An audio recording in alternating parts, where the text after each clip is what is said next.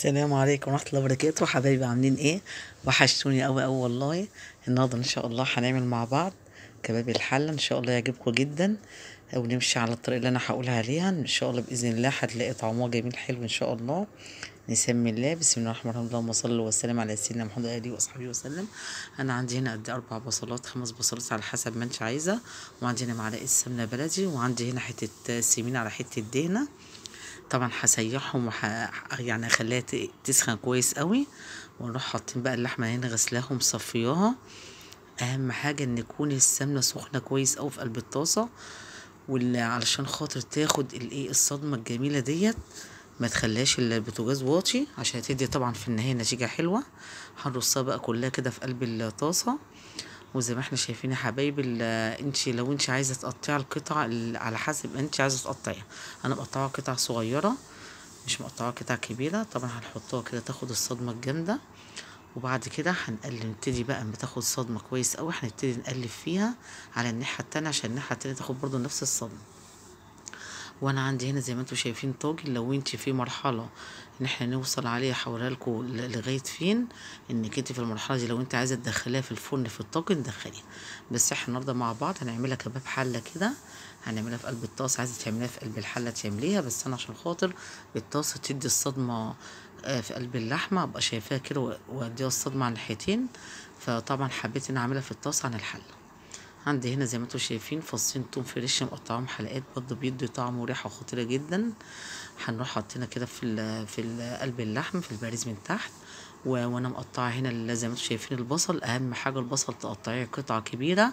ولو عندك بصل الصغير اللي هو القرمة دوت يا ريت يكون برضه يبقى حلو. بس أنا مقطعاه يعني دوبك الواحدة إربع كده مقطعة نصين. حطيناها بقى على اللحمة كده ونروح مغطيينها. ندي تقليبة وتشويحة كده كويس.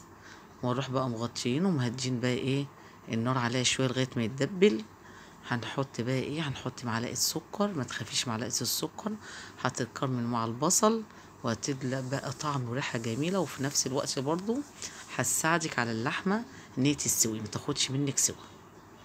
زي ما أنتوا شايفين كده هنقلب فيها تقليبتين.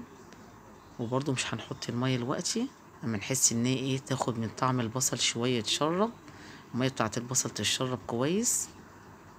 وهنروح بقى بعد كده أهم حاجة إنك أنت لما تيجي إنك أنت تحطي ال- المية زي ما إحنا قلنا أي فراخ أي لحمة بنحط طبعا مية سخنة من الكاتر.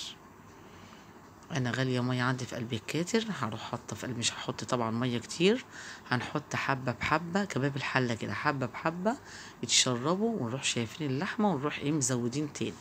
كل ما تشربوا شوية لغاية ما تدي الإيه الطعم الحلو الجميل بتاعها. انت بقى في الحالة دي أول ما تحطي البصل هنحط هنا آه نص معلقة فلفل أسمر هنحط نص معلقة بهارات بهارات لحمة. أكتر من كده مش هنحط. إحنا عايزين نحس بطعم اللحمة وكباب الحلة ما نحطش بقى فلفل ما نحطش أي يعني أي أطعمة تانية. أنا عن نفسي بحب طالما كباب الحلة يبقى فلفل أسمر بس وبهارات اللحمة.